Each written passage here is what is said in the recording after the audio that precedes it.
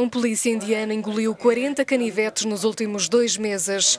O homem de 42 anos está a recuperar da cirurgia de 5 horas que aconteceu num hospital de Punjab, na Índia. Os médicos removeram as facas, algumas com lâminas de 18 centímetros. Este homem sofre de um distúrbio psiquiátrico e está a ser acompanhado.